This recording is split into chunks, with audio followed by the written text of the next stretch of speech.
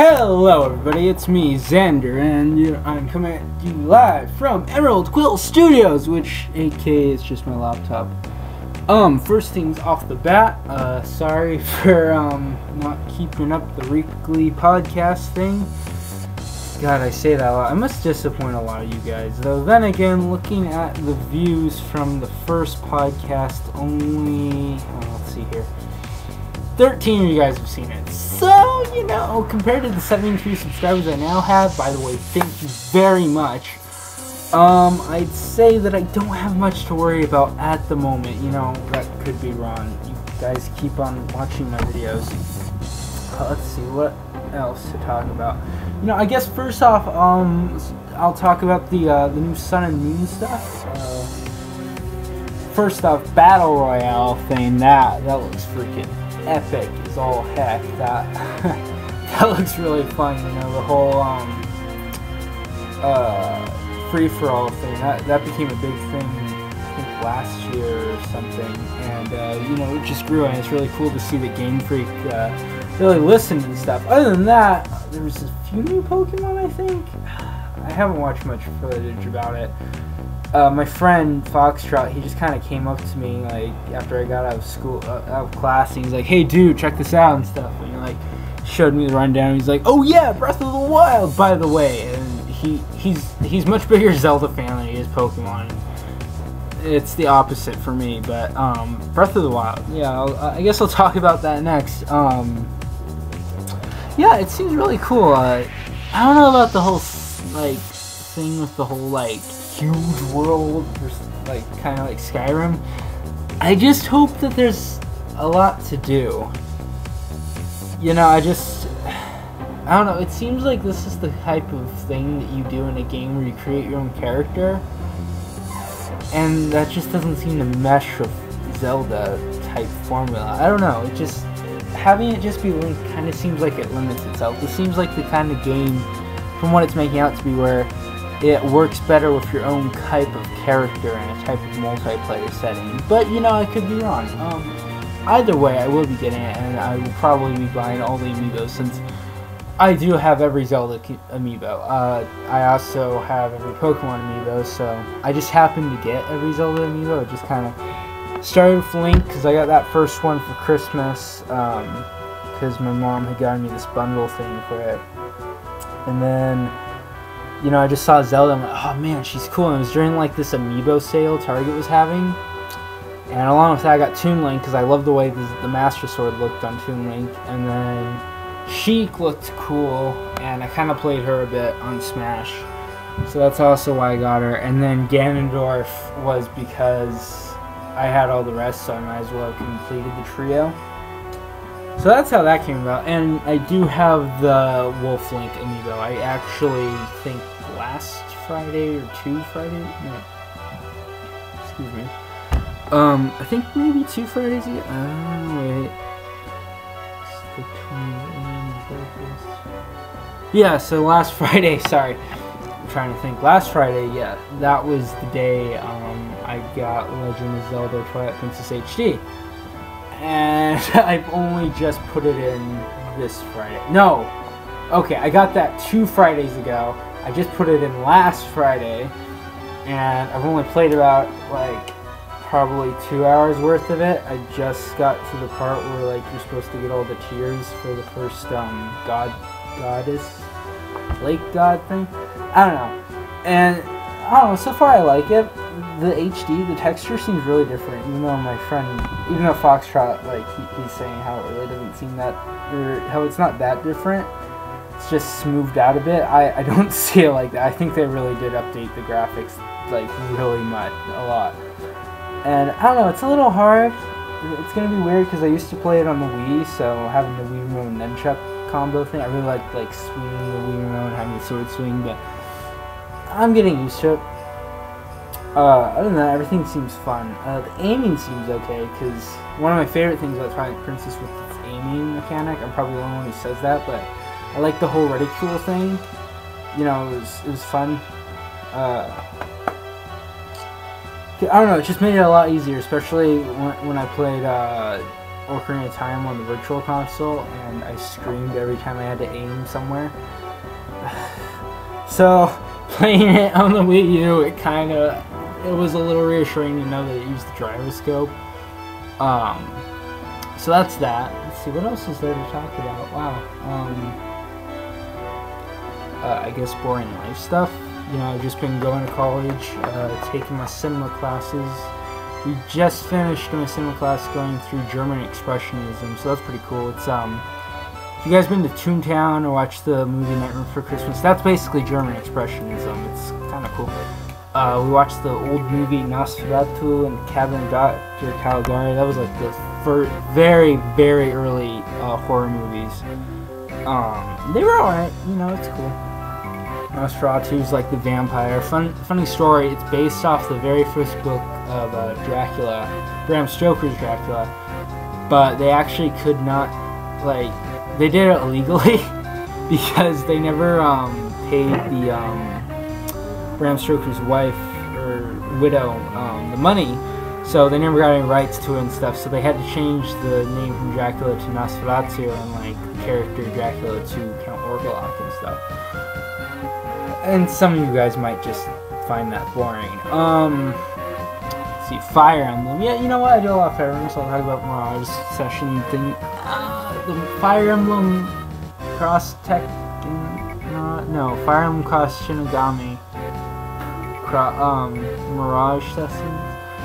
I don't know. It's interesting. I think what really turned me off was the fact that, like,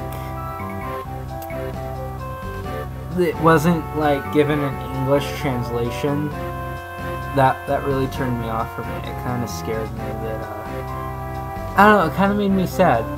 So that's what really like stopped me from playing it. Um, I didn't.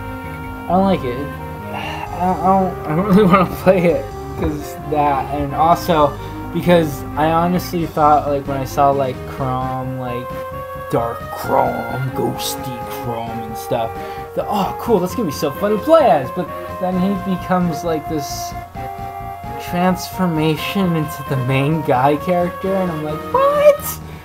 What? What the? what? And it just, uh, I don't know. I don't like it now. I, I don't like it. It's weird. It, it, I don't want to play it now. And I also got uh, a birthday present to myself because I just turned 18. Um, a lot of you guys may not or may know that, I'm not sure. Uh, I got an N3DS, the new Nintendo 3DS XL, and uh, you know I never wanted to get one of them. I wanted to get a regular N3DS, but I know I was gonna get the Pokemon 20th anniversary one, but they got really sold out really fast before I could get the money scrounged together, so I didn't get it. So I said screw it, um, because my th regular 3DS, its backlight for the top portion of it was going out, like it was dimming out and like glitching and stuff. And it was getting worse and worse and worse, so I figured screw it, and I got it. And then the E3 sale came out, so I bought a bunch of games. I bought uh, um, uh, Project X Zone 2! Sorry, I like saying it. That's how they say it when like you go over it. Project X Zone 2, or I call it X Zone, but it's Cross Zone. I'm calling it that too. Uh, that's pretty fun. I barely know any of the characters in it, so you know, I guess it would be cool. I don't know if you guys haven't played it and aren't sure about it. Uh, I only know like a few of the characters, and probably the only game that I actually have legitimately played that has characters from the series in it is Chrom and Lucina. And I can reassure you that if you haven't, if you've only like played one of them and you're not sure if you want to play it, I would give it a shot. It's fun. You don't like all the characters that they chose are very likable personalities. You don't have to really know them from their games to actually like feel experienced in the involvement. So you know that's pretty fun. Um, I'm having a lot of fun with it. It's it's really cool. Like it's like turn based with beat 'em up. It's weird. It's like you get combos and keep them up in the air and but like you're doing moves and stuff, like you do inputs and they do like a bunch of different things and then uh, let me break it down. Like so you're on this grid base and like you move around and so then like you attack your enemy, and then depending on like where you are, that's how much damage they will take. Like if you're on the back, if you're attacking their back, they'll take maximum damage. If you're taking their side, they'll take medium, and if you're taking their the attacking their front, they'll take the least amount of damage. And it'll happen to you as well. And then you go into this battle, and then like you like you have A or forward A, and you press those, and then they do these little attack things. You get three of them uh, per little match thing, and you have to keep them up in the air as long as you can. And sometimes you'll kill them and stuff. And then you got like specials and things. They're cool, you know, huge screens and stuff. But it's fun. Uh, I also know there's characters that I do know, and then like they have the main characters, which are from their own game, which they're pretty fun too. Um, it's a fun game. I like it. Uh, I don't know. I, I barely know any of them. I know kind of Phoenix Wright. I know uh, um, X and Zero from Mega Man uh, X. Even though I never played Mega Man X, I only played like the original Mega Man games. But it's still fun. I like it.